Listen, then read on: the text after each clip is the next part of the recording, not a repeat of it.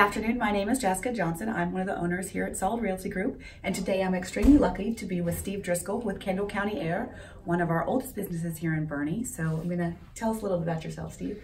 Uh, very good. I came to Boerne in 1983, so I've been here quite a while. Uh, joined Kendall County Air in 1995.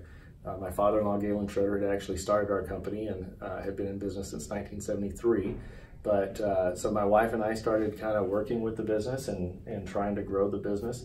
Uh, we purchased the business from my parent, uh, my in-laws in 2007 and uh, have just been working it ever since and just continue to try to, to grow in the community as part of the community.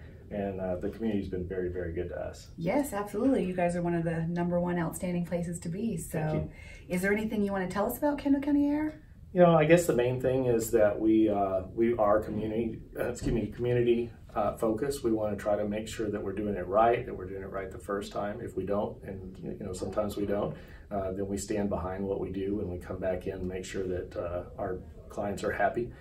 Make sure that our employees are working well, our people are criminally background checked and drug tested.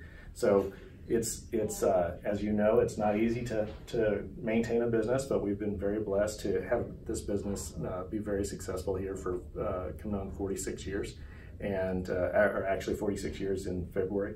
And uh, so yeah we just we want to still be here and be the company that you can count on. Fabulous. And how do people get in touch with you? Where are you located? We are at 136 Industrial Drive just south uh, on the south end of Boerne um, but probably the best way to get in touch with us is just to give us a call at 210-698-8520 or you can check us out online at kcaservices.net. Fabulous, wonderful. And so as a Boerne expert, where do you think we should go next? Who should we check out? You know, um, Apple Tree Day School with okay. Lloyd Voigt. Uh, yeah. They're a great community-oriented business as well, and he's spent his whole life here in Boerne, so uh, he's probably the one that I'd hand the baton off to next. Fabulous. Thank you so much, Steve. We look you forward bet. to it. Thank you. And Hi, I want to know, what's your favorite thing about Boerne?